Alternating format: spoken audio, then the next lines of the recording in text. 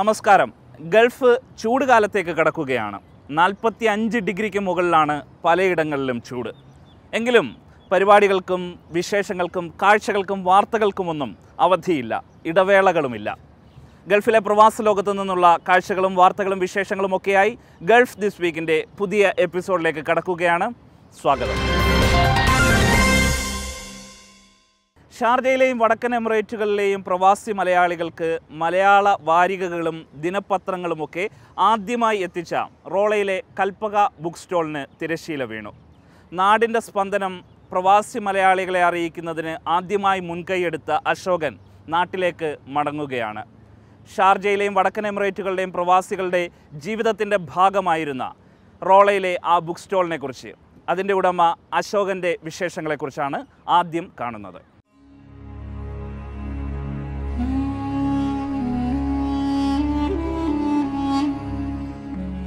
എഴുപത്തിനാലിൽ August പതിനഞ്ചിന് വീട്ടിൽ പുറപ്പെട്ടു. ബോംബെ നിന്ന് ഇവിടുത്തെ അക്ബർ എന്ന കപ്പലിൽ ദുബൈയിൽ സീ പോട്ട് ഇറങ്ങി.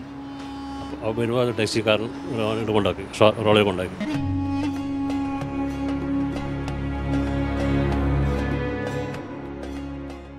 അന്നേരം വെച്ചാൽ എന്റെ കടങ്ങ് ആദ്യം ജോലികളുടെ കടങ്ങ് അവിടെ അവിടെയായിരുന്നു. അപ്പോൾ അവിടെ പാർക്കുണ്ട് റോള പാർക്ക് പറയും. ഒരു മരമുണ്ട്. മരത്തിനടിയിൽ എല്ലാവരും വ്യാഴാഴ്ച വരും. ഒന്ന് ഒത്തുകൂടും. ഒത്തുകൂടി എല്ലാ സംസാരവും അതും അങ്ങോട്ടും ഇങ്ങോട്ടും സംസാരിച്ച് വിളിച്ചിട്ട് പിന്നെ പിറ്റേ വെള്ളിയാഴ്ച അതേമാതിരി. അന്ന് ഏറ്റവും കൂടുതൽ വ്യാഴം വെള്ളി പിന്നെ നോക്കണ്ട. പിന്നെ എല്ലാവരും ജോലിക്ക് പോയില്ലേ? പിന്നെ കടല അടുത്ത വ്യാഴ്ചയുടെ കാത്തു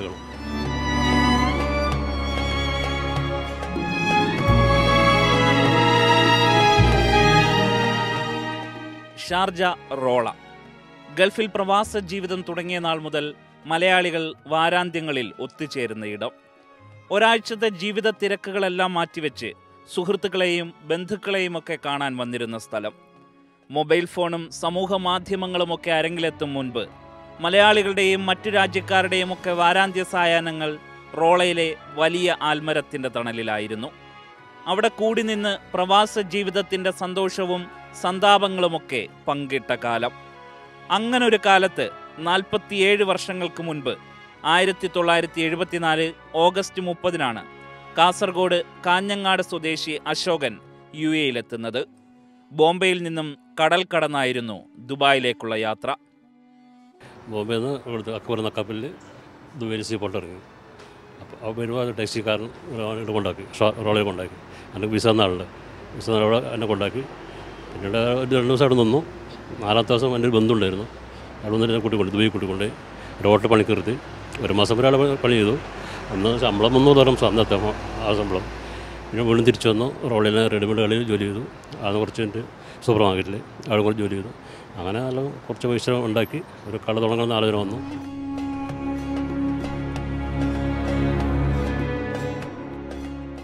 ഹോട്ടൽ സൂപ്പർ മാർക്കറ്റ് ടെക്സ്റ്റൈൽസ് എന്നിവിടങ്ങളിലെ ജോലിക്ക് ശേഷമാണ് ജ്യേഷ്ഠൻ ഗംഗാധരനൊപ്പം ചേർന്ന് അശോകൻ ആയിരത്തി തൊള്ളായിരത്തി എൺപതിൽ ഷാർജയുടെ ഹൃദയഭാഗമെന്നറിയപ്പെടുന്ന റോള സിഗ്നലിനടുത്ത് കൽപ്പക റെഡിമെയ്ഡ്സ് എന്ന കൊച്ചു കട തുടങ്ങുന്നത്. ടി വി പോലും സജീവമല്ലാതിരുന്ന ആ കാലത്ത് നാട്ടിൽ ലഭിച്ചിരുന്ന പത്രമാസികകളൊക്കെ ഷാർജയിലെ മലയാളികൾക്ക് കിട്ടാക്കനിയായിരുന്നു. ഷാർജ അജ്മാൻ തുടങ്ങി യു എയിലെ വടക്കൻ എമിറേറ്റുകളിൽ താമസിച്ചിരുന്ന പ്രവാസി മലയാളികൾക്ക് അങ്ങനെ ആദ്യമായി മലയാളം പത്രങ്ങളും വാരികകളും ഒക്കെ എത്തിച്ച വ്യക്തിയാണ് അശോകൻ. കൽപ്പകയിൽ തന്നെയാണ് പത്രങ്ങളും വാരികകളും ഒക്കെ എത്തിച്ച് വിൽപ്പന നടത്തിയിരുന്നത്. അപ്പം ആൾക്കാരുടെ ആൾക്കാരെല്ലാം ഇങ്ങനെ പോകുന്ന പോകുമ്പോൾ ഇങ്ങനെ പറഞ്ഞു. അങ്ങനെ പേപ്പറും കാര്യം നോക്കി വിറ്റ് നോക്ക്. ചില നല്ല കച്ചവടമായിരിക്കും. അങ്ങനെ മറ്റേ ക്രമം നിർത്തിയിട്ട് പേപ്പറിന്റെ എന്റെ പരിപാടി തുടങ്ങി. തുടങ്ങിയതാകുമ്പോൾ നല്ല വിജയമാണ്. നല്ല വിജയം കണ്ടു. ഇഷ്ടംപോലെ ആൾക്കാർ എല്ലാ പല സ്ഥലത്തുള്ള ആൾക്കാർ വന്ന് ചോദിക്കണം. അങ്ങനെ ന്യൂസ് ഏജൻസിനെ കണ്ടുപിടിച്ചിട്ട് എല്ലാ നാട് ഗൾഫ് എല്ലാ സ്ഥ- സ്ഥലത്തുള്ള വിക്കിരി പേപ്പർ എല്ലാം വിൽക്കാൻ തുടങ്ങി. ഏജന്റ് ഉണ്ടായിരുന്നു. അവർ ഇന്നത്തെ പേപ്പർ മറ്റന്നാൾ കിട്ടും. ഇന്നത്തെ പേപ്പർ മറ്റന്നാൾ. അപ്പോൾ അത് വാങ്ങിക്കാൻ ആളുണ്ട് അപ്പോൾ അത് ചില ബുക്ക് ചെയ്ത് ബുക്ക് ചെയ്ത് വെക്കും. എപ്പോൾ കിട്ടാത്തതുകൊണ്ട് അതുമാതിരി വീക്കിലുകളും. മാസത്തേക്ക് പൈസ തന്നിട്ട് അവർ സൂക്ഷിച്ച് വെച്ച് അവർ കൊടുക്കും.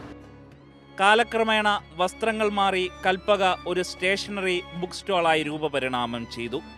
ഇന്നത്തെ പോലെ അന്നും പ്രവാസികൾക്ക് നാട്ടിലെ വാർത്ത അറിയാനുള്ള ആവേശമുണ്ടായിരുന്നു.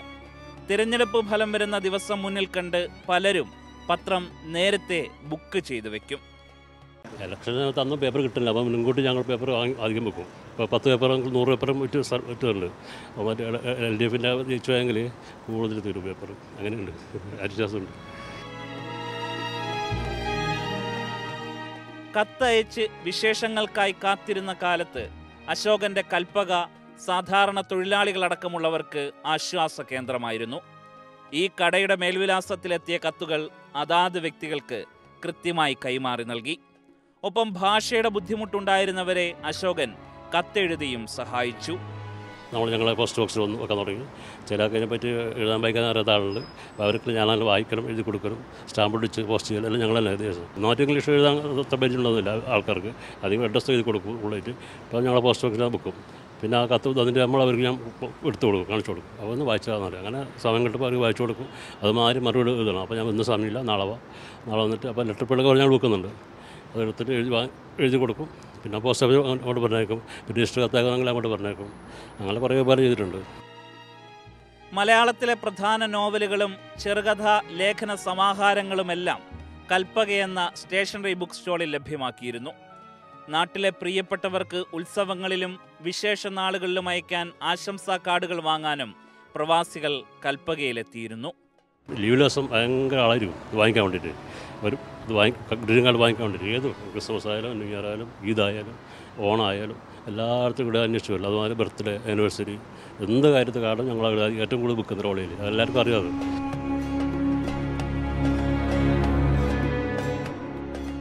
ഷാർജയിൽ ജോലി ചെയ്തിരുന്ന അന്തരിച്ച സാഹിത്യകാരൻ ടി വി കൊച്ചുബാവ കൽപ്പകയിലെ സ്ഥിരം സാന്നിധ്യമായിരുന്നു. പത്ത് വർഷം മുൻപ് വരെ പത്രമാധ്യമങ്ങളുടെയും പുസ്തകങ്ങളുടെയും വസന്തകാലമായിരുന്നു കൽപ്പകയിലേതെന്ന് അശോകൻ പറയുന്നു. പിന്നീട് കാലം മാറി. വിരൽ തൊടുമ്പോൾ വാർത്തകളുടെ ലോകം മുന്നിലെത്തുന്നത് കണ്ടു വളരുന്ന ഇന്നത്തെ തലമുറയ്ക്കറിയാത്ത വാർത്തയറിയാൻ ദിവസങ്ങൾ കാത്തിരുന്നൊരു തലമുറയുടെ ജീവിതം. അങ്ങനെ നാൽപ്പത്തിയേഴ് വർഷങ്ങൾക്ക് ശേഷം പ്രവാസ ജീവിതം അവസാനിപ്പിച്ച് കേരളത്തിലേക്ക് മടങ്ങുകയാണ് അശോകൻ. പ്രവാസ ജീവിതം മടുത്തിട്ടൊന്നുമല്ല മടങ്ങാൻ തീരുമാനിച്ചത്. വയസ്സ് അറുപത്തേഴായി ഇനിയുള്ള കാലം സ്വന്തം മണ്ണിൽ നിൽക്കണമെന്ന ആഗ്രഹം. നാട്ടിൽ പറ്റിയപ്പോൾ മുന്നെടുക്കലും പോകണം പറഞ്ഞു. പക്ഷേ ഇപ്പോൾ അടുത്തടുത്ത് തുടങ്ങുമ്പോൾ മനസ്സിലാണ് വേദനിക്കുന്നു. പോകണ്ടെന്നാണ് തോന്നുന്നു. ഇത്രയും കൊണ്ട് നിന്നില്ല ഇവിടെ. അതുകൊണ്ട് പോകണ്ടെന്നാണ് തോന്നുന്നു. മുപ്പത്തിമൂന്ന് വർഷമായി ഭാര്യ റീജയും ഷാർജയിൽ കൂടെയുണ്ട്. രണ്ട് മക്കൾ അശ്വിനിയും അങ്കിതും ജനിച്ചതും പഠിച്ചതും വളർന്നതും ഷാർജയിൽ തന്നെയാണ്. ഭർത്താവിന്റെ തിരക്കേറിയ ജീവിതത്തിനും മക്കളുടെ വളർച്ചയ്ക്കുമൊക്കെ സാക്ഷിയായ ഈ നഗരത്തിൽ നിന്ന് നാട്ടിലേക്ക് മടങ്ങുമ്പോൾ റീജയ്ക്ക് സമ്മിശ്ര വികാരമാണ്. പോകുന്നതിന് സന്തോഷമുണ്ട്. എന്നാൽ അതിനേക്കാളും കൂടുതൽ വിഷമമുണ്ട്. ഒരുപാട് ഓർമ്മകളും എല്ലാം ഇവിടെ ഇത്രയും വർഷം ഇവിടെ നിന്നതിന് ഗൾഫ് അത്രയും ഇഷ്ടപ്പെട്ടു. ശരിക്കും പറഞ്ഞാൽ ഗൾഫ് ഇഷ്ടപ്പെട്ടു. മടത്തിട്ടില്ല. ഗൾഫ് മടത്തിട്ടില്ല. പിന്നെ സാമ്പത്തികം ഇനിയിപ്പം മുന്നോട്ട് പോകാൻ പറ്റില്ല. അതുകൊണ്ടാണ് മക്കൾ രണ്ടുപേരും ഇവിടെ ഉണ്ട്. അവർ ഇനി അവിടെ നിൽക്കട്ടെ. വല്ലപ്പോഴും വരെ. വന്ന് കാണാം. നാട്ടിൽ പോകണം നാട്ടിൽ ഇനി ഉള്ള കാലം സന്തോഷമായിട്ട് ഒരു വിശ്രമ ജീവിതം വേണം. ഒരുപാട് കഷ്ടപ്പെട്ടു. ഒരുപാട് കഷ്ടപ്പെട്ടു എന്ന് പറഞ്ഞാൽ ഒരു ലീവില്ല അങ്ങനെ ഒരുപാട് കഷ്ടപ്പെട്ടു. കടയും വീടും കടയും വീടും വന്ന് അങ്ങനെ എവിടെയും പോകാനോ ഒന്നും പറ്റിയിട്ടില്ല. ഇനി നാട്ടിൽ പോയിട്ടൊന്ന് വിശ്രമം. ഒരുപാട് സമ്പാദ്യമൊന്നും ഇല്ലെങ്കിലും കൂടി ഉള്ളതിനെ കൊണ്ട് സുഖമായിട്ട് ജീവിക്കണം. കൽപ്പകയിൽ ഇനി പുസ്തകങ്ങളുടെയും പത്രങ്ങളുടെയും അക്ഷരക്കൂട്ടുണ്ടാകില്ല. വരും ദിവസങ്ങളിൽ അതൊരു കഫറ്റീരിയായി മാറും. കൽപ്പകയിലൂടെ പ്രവാസ ലോകത്തിന്റെ ഭാഗമായിരുന്ന അശോകൻ നാൽപ്പത്തിയേഴ് വർഷത്തിനിടെ ഈ നഗരത്തിന്റെ വളർച്ച കൺമുൻപിൽ കണ്ടു. മെച്ചപ്പെട്ട ജീവിതം തേടിയെത്തിയ അനേകർക്ക് വഴികാട്ടിയായി. അന്ന് സജീവമായിരുന്നവരിൽ പലരും കാലയവനികയ്ക്കുള്ളിൽ മറഞ്ഞു.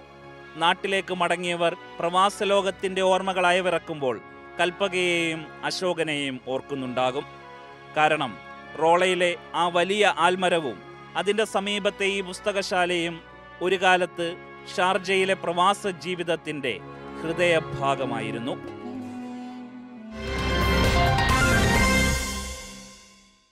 പ്രവാസ ലോകത്തെ ജോലി തിരക്കിനിടയിലും സിനിമയും പരസ്യ ചിത്രീകരണവും ഹ്രസ്വ ചിത്രങ്ങളും ഒക്കെയായി സജീവമായ കോട്ടയം സ്വദേശിയായ പ്രവാസി മലയാളി ഡേവിസ് ടോമിലിൻ കൊട്ടാരത്തിലിനെയാണ് ഇനി പരിചയപ്പെടുന്നത്. ഒപ്പം ഡേവിസിന്റെ സംവിധാനത്തിൽ ഒടുവിൽ പുറത്തിറങ്ങിയ കാതൽ ഗ്യാരേജ് എന്ന ഹ്രസ്വ സംഗീത ചിത്രത്തിന്റെ വിശേഷങ്ങൾ കൂടി കാണാം.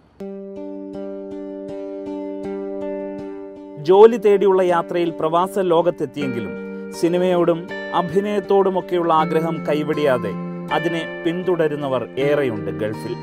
ചിലർ സമൂഹ മാധ്യമങ്ങളിൽ മാത്രമായി ചുരുങ്ങും. മറ്റു ചിലർ ആഗ്രഹങ്ങൾക്കായി കൂടുതൽ സജീവമായ ശ്രമങ്ങൾ നടത്തും. അത്തരത്തിൽ അഭിനേതാവാകണമെന്ന ആഗ്രഹം മനസ്സിൽ സൂക്ഷിച്ച് സംവിധാന രംഗത്ത് സജീവമാവുകയാണ്. കോട്ടയം ഈരാറ്റുപേട്ട സ്വദേശി ഡേവിസ് ടോംലിൻ ദുബായിൽ നിർമ്മാണ മേഖലയിൽ സിവിൽ എഞ്ചിനീയറായാണ് ജോലി. പക്ഷേ മനസ്സിൽ സിനിമയും അഭിനയവും ഒക്കെ കാത്തു സൂക്ഷിക്കുന്നതിനാൽ ആ മേഖലയിൽ സജീവമാണ്. സിനിമ അഭിനയമായിരുന്നു ആദ്യം തൊട്ട് മനസ്സിലുണ്ടായിരുന്ന ഒരു കാര്യം. പിന്നീട് ഞാൻ ഡിഗ്രി കഴിഞ്ഞ് എല്ലാവരും പോലെ തന്നെ നമുക്ക് ഒരു റിബലാകാൻ പറ്റുമല്ലോ. വീട്ടിലെ സാഹചര്യമൊക്കെ വെച്ചിട്ട് നമ്മൾ ജോലിക്ക് പോയി തുടങ്ങി. ബോംബെയിലായിരുന്നു ആദ്യം ജോലിക്ക് പോയത്. അപ്പോഴും അഭിനയമോഹം ഉണ്ടായിരുന്നു. പിന്നീട് ഞാൻ ദുബായിക്ക് എത്തിപ്പെട്ടു. ദുബായിൽ വന്നതിന് ശേഷം അഭിനയമോഹത്തിന് വേണ്ടിയിട്ട് ഞാൻ ഒരു സിനിമയിൽ അസിസ്റ്റ് ചെയ്യാൻ വേണ്ടി പോയി. പക്ഷേ അതിൽ പ്രീ പ്രൊഡക്ഷൻ സമയത്ത് വർക്ക് ചെയ്തപ്പോൾ തൊട്ട് അഭിനയം മാറി അതിലേക്ക് ഡയറക്ഷനിലേക്ക് ഓട്ടോമാറ്റിക്കായിട്ട് മാറുകയായിരുന്നു സത്യം പറഞ്ഞു കഴിഞ്ഞാൽ. അതിനുമുമ്പ് ഞാനൊരു ഷോർട്ട് ഫിലിമിൽ അഭിനയിച്ചിട്ടൊക്കെ ഉണ്ടായിരുന്നു. പക്ഷേ ഒരു സിനിമയുടെ മേക്കിംഗ് സ്റ്റാർട്ട് ചെയ്ത ആ ഒരു മൊമെന്റ് തൊട്ട് ഞാൻ അതിലേക്ക് അങ്ങ് മാറുക ചെയ്തു ഓട്ടോമാറ്റിക്കായിട്ട് ഡയറക്ഷൻ ഫീൽഡിലേക്ക് മാറുമായിരുന്നു ജിമ്മി? അതെ ഞാൻ അഭിനയം ഉദ്ദേശിച്ചത്. ജിമ്മി ഈ വീടിന്റെ ഐശ്വര്യം എന്ന സിനിമയിൽ അസിസ്റ്റന്റ് ഡയറക്ടറായാണ് ഡേവിസ് മലയാള സിനിമയുടെ സംവിധാന രംഗത്ത് തുടക്കമിട്ടത്. Jaghara gangs of Sonapur unchained തുടങ്ങിയ സംഗീത ആൽബങ്ങളും ഹ്രസ്വ സംഗീത ചിത്രങ്ങളും സംവിധാനം ചെയ്ത് പ്രവാസ ലോകത്തെ കലാരംഗത്ത് തന്റെതായ ഇടം ഉറപ്പിക്കുകയാണ്.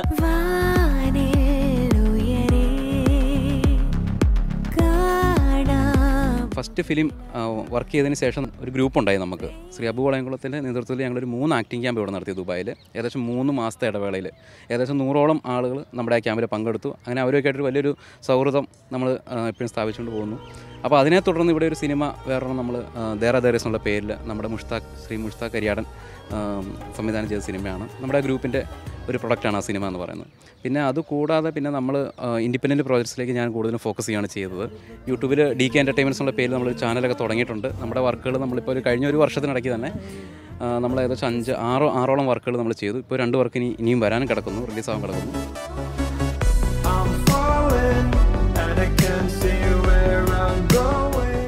ഡേവിസിന്റെ നേതൃത്വത്തിലുള്ള ഡി കെ എന്റർടൈൻമെന്റ് നിർമ്മിച്ച് ഒടുവിൽ പുറത്തിറക്കിയ അൺചെയിൻഡ് എന്ന മ്യൂസിക് വീഡിയോ ദുബായ് മലയാളികൾ അണിനിരന്ന ഇംഗ്ലീഷ് മ്യൂസിക് വീഡിയോ എന്ന നിലയിൽ ശ്രദ്ധേയമായിരുന്നു. ഡി കെ എന്റർടൈൻമെന്റ് ബാനറിൽ ഹ്രസ്വ ചിത്രങ്ങളും സംഗീത ആൽബങ്ങളും അടക്കം കൂടുതൽ പുറത്തു വരാനിരിക്കുന്നു. നമ്മളൊരു ഇംഗ്ലീഷ് മ്യൂസിക് വീഡിയോ ചെയ്താൽ എങ്ങനെ ഇരിക്കും എന്നൊന്ന് ട്രൈ ചെയ്ത് നോക്കണം എന്നുള്ള ആഗ്രഹത്തിന്റെ പുറത്ത് ചെയ്ത സംഭവമാണ് അത് ശരിക്കും. പിന്നെ നമുക്ക് ഇൻസ്റ്റാഗ്രാമിൽ കൂടെ തന്നെ നമുക്ക് കുറച്ച് മോഡൽസിനെ നമുക്കൊരു കാസ്റ്റിംഗ് കൂടെ ഇട്ടു.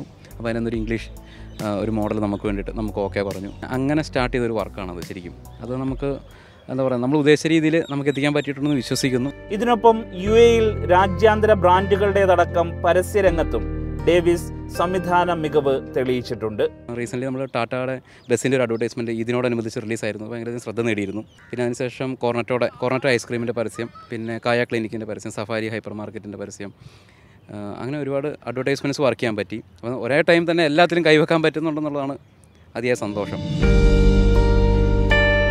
രണ്ട് തിരക്കഥ പൂർത്തിയാക്കി മൂന്നാമത്തേതിന്റെ രചനയിലാണ് കോവിഡ് നിയന്ത്രണങ്ങൾ ഒഴിയുന്നതോടെ സിനിമാ മേഖലയിലേക്ക് കൂടുതൽ ഇടപെടൽ നടത്തണമെന്നാണ് ആഗ്രഹം.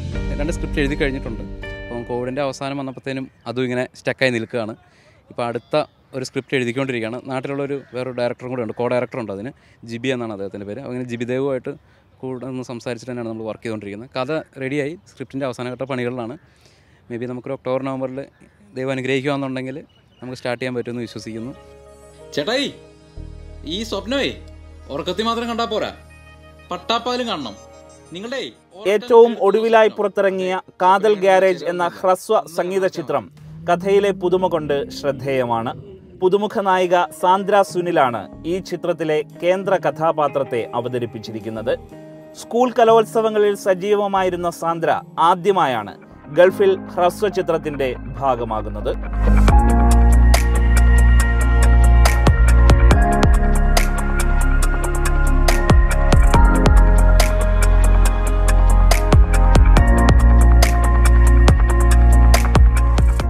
വളരെ നല്ലൊരു എക്സ്പീരിയൻസ് ആയിരുന്നു. കാരണം ഞാനിവിടെ യു എയിൽ വന്നിട്ട് ഫസ്റ്റ് ആൽബമാണ് ചെയ്യുന്നത്. അപ്പോൾ അതിന്റെതായ ടെൻഷനും കാര്യങ്ങളൊക്കെ ഉണ്ടായിരുന്നു. ആരെയും ഒന്നും ഒത്തിരി പരിചയമൊന്നുമില്ലായിരുന്നു. പക്ഷെ അവർക്കൊന്നൊരു ജാടയില്ല ഭയങ്കര ഫ്രണ്ട്ലി ആയിട്ട് പെട്ടെന്ന് തന്നെ നമുക്ക് കൂട്ടാവാൻ പറ്റി.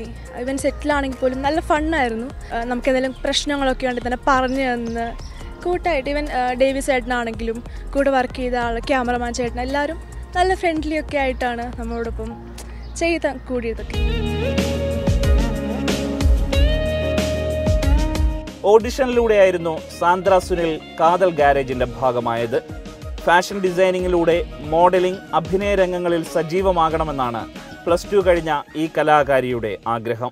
ആക്ടിങ് എന്റെ പാഷനാണ്. അതുപോലെ എന്താ പറയുക പുറത്ത് പോയി പഠിച്ച ഒരു ഫാഷൻ ഡിസൈനിങ് ആണ് നമ്മൾ നോക്കുന്നത്. കാരണം ഫാഷൻ ഡിസൈനിങ് പഠിച്ചു കഴിഞ്ഞാൽ ഈ മോഡലിങ്ങും ഫാഷൻ ഡിസൈനിങ്ങും ആക്ടിങ്ങും ഒക്കെ ഒരു കമ്പനി ആണല്ലോ അപ്പോൾ നമുക്ക് മൂന്നും കൂടെ ഒരുമിച്ച് കൊണ്ടുപോകാൻ പറ്റും ഒരു കാതൽ ഗ്യാരേജ് അടക്കം വ്യത്യസ്ത പ്രമേയങ്ങളിലൂടെ കൂടുതൽ സിനിമ ഹ്രസ്വചിത്ര പരസ്യരംഗങ്ങളുടെ ഭാഗമാകാൻ ഒരുങ്ങുകയാണ് സംവിധായകനായ ഡേവിസ് ടോംലിൻ. അതിന് ദുബായ് മുന്നോട്ട് വെക്കുന്ന സൗകര്യങ്ങളുടെയും സാമ്പത്തികത്തിന്റെയും സാധ്യതകളെ പ്രയോജനപ്പെടുത്താനാകുമെന്നാണ് വളർന്നു വരുന്ന ഈ യുവ കലാകാരന്റെ പ്രതീക്ഷ.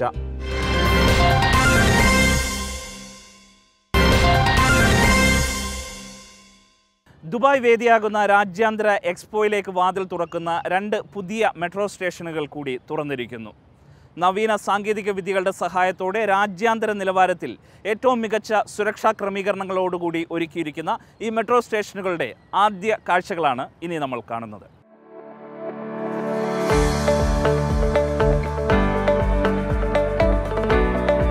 രണ്ടായിരത്തി ഒൻപത് സെപ്റ്റംബർ ഒൻപതിനാണ് ഗൾഫിലെ ആദ്യ മെട്രോയായി ദുബായ് മെട്രോ പൊതുഗതാഗതത്തിനായി തുറന്നത്.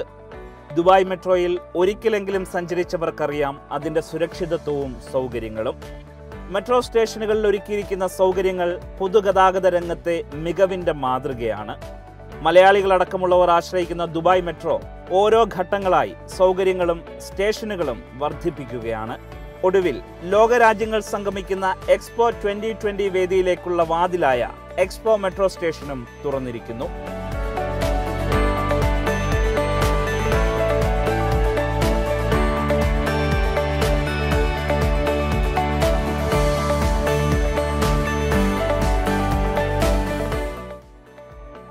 Dubai investment park expo twenty twenty എന്നീ സ്റ്റേഷനുകളാണ് കഴിഞ്ഞ ദിവസങ്ങളായി തുറന്നത്.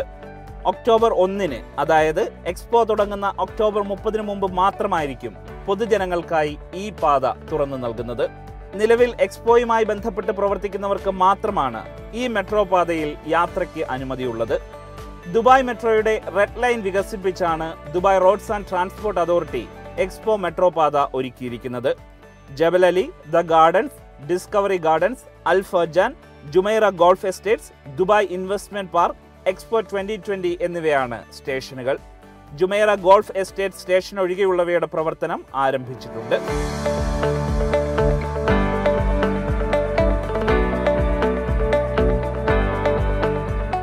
വിമാനത്താവളങ്ങളോട് കിടപിടിക്കുന്ന അത്യാധുനിക സൗകര്യങ്ങളോടെയുള്ള മെട്രോ സ്റ്റേഷനാണ് എക്സ്പോ വേദിക്ക് സമീപം എക്സ്പോ ട്വന്റി ട്വന്റി എന്ന പേരിൽ നിർമ്മിച്ചിരിക്കുന്നത്. ഇരുന്നൂറോളം രാജ്യങ്ങളിൽ നിന്നുള്ള ലക്ഷക്കണക്കിന് സന്ദർശകരെ ഉൾക്കൊള്ളാനാകും വിധമാണ് എക്സ്പോ മെട്രോ സ്റ്റേഷന്റെ നിർമ്മാണം. ഭാവി എന്ന പ്രമേയത്തിൽ ഒരുക്കിയിരിക്കുന്ന സ്റ്റേഷന്റെ വിസ്തീർണം പതിനെണ്ണായിരത്തി എണ്ണൂറ് സ്ക്വയർ മീറ്റർ ആണ്. അഞ്ച് ലക്ഷത്തി ഇരുപത്തിരണ്ടായിരം യാത്രക്കാരെ വരെ പ്രതിദിനം ഉൾക്കൊള്ളാനാകും.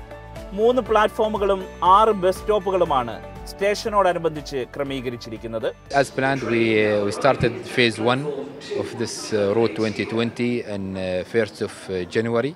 We operate uh, four stations, and now we are continuing with phase two with uh, two additional uh, station, which is Dubai Investment Park and uh, Expo 2020 station.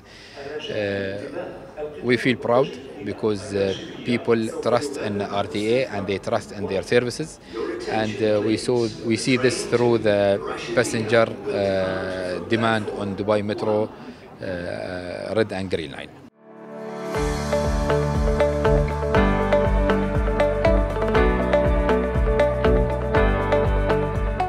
Rashidiya metro സ്റ്റേഷനിൽ നിന്നും എക്സ്പോയിലേക്ക് എത്താൻ ഒരു മണിക്കൂർ പതിനാല് മിനിറ്റ് സമയമെടുക്കും. തിരക്കേറിയ സമയങ്ങളിൽ രണ്ടര മിനിറ്റ് ഇടവേളകളിൽ ട്രെയിനുകൾ എത്തും ജബലലിയിൽ നിന്ന് എക്സ്പോയിലേക്ക് എത്താൻ പതിനൊന്ന് മിനിറ്റ് നാൽപ്പത്തിരണ്ട് സെക്കൻഡ് മതിയാകും. പുതിയ പാതയിൽ കഴിഞ്ഞ ദിവസം തുറന്ന ഡി ഐ പി സ്റ്റേഷന് ഇരുപത്തേഴായിരം ചതുരശ്ര മീറ്ററാണ് വിസ്തൃതി.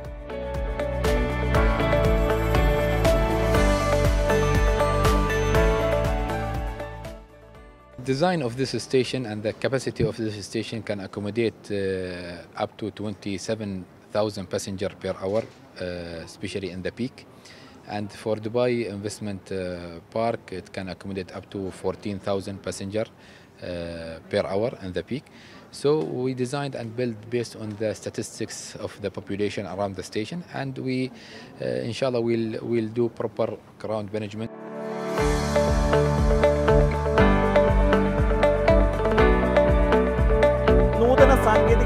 വിദ്യകളോടെയാണ് പുതിയ സ്റ്റേഷനുകൾ ക്രമീകരിച്ചിരിക്കുന്നത്. പ്ലാറ്റ്ഫോമിലേക്ക് പ്രവേശിക്കുന്നതിനുള്ള ഗേറ്റുകളിൽ സെൻസറിനൊപ്പം ത്രീ ഡി ക്യാമറകളുമുണ്ട്. സ്ട്രോളർ വീൽ ചെയർ എന്നിവയുമായി എത്തുന്ന യാത്രക്കാർക്ക് ഗേറ്റിലൂടെ തന്നെ പ്രവേശിക്കാൻ കൂടുതൽ സമയം വേണ്ടിവരും എന്നതിനാൽ അതിനുള്ള സമയം ക്രമീകരിച്ച് നൽകാനാകും എന്നതാണ് പ്രധാന സവിശേഷത.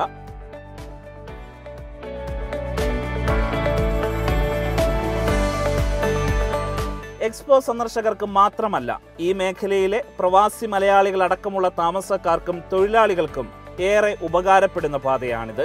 ടാക്സിയെയും ബസ്സിനെയും മാത്രം ആശ്രയിച്ചിരുന്നവർക്ക് ഗതാഗത കുരുക്കില്ലാതെ സഞ്ചരിക്കാനുള്ള വഴിയാണ് ഒക്ടോബറോടെ തുറക്കുന്നത്. അതേസമയം ദുബായ് മെട്രോയുടെ ഗ്രീൻ ലൈനിലെ സർവീസ് തുടങ്ങുന്ന സമയം ഇനി രാവിലെ അഞ്ച് മണിയായിരിക്കുമെന്ന് ആർ ടി എ അറിയിക്കുന്നു.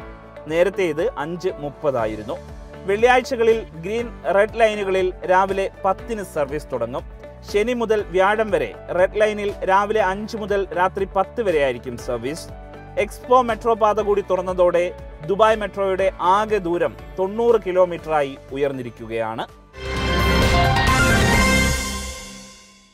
ഗൾഫ് ദിസ് വീക്കിന്റെ ഈ എപ്പിസോഡ് ഇവിടെ അവസാനിപ്പിക്കുകയാണ്. അടുത്ത എപ്പിസോഡിൽ അവതരിപ്പിക്കണമെന്ന് നിങ്ങൾ ആഗ്രഹിക്കുന്ന കാഴ്ചകളും വാർത്തകളും വിശേഷങ്ങളും പങ്കുവയ്ക്കാം. ഒപ്പം അഭിപ്രായങ്ങളും നിർദ്ദേശങ്ങളും. അറിയിക്കേണ്ട വിലാസം the producer Gulf this week Manorama news P O box അഞ്ച് പൂജ്യം രണ്ട് ആറ് മൂന്ന് എട്ട് Dubai media city. Phone zero five six four eight triple zero one two. മുൻ എപ്പിസോഡുകൾ മനോരമ മാക്സ് മൊബൈൽ ആപ്പിലും മനോരമ ന്യൂസിന്റെ വെബ്സൈറ്റിലും യൂട്യൂബ് ചാനലിലും കാണാം. വീണ്ടും കാണാം അടുത്ത ആഴ്ച ഇതേ സമയം. നന്ദി.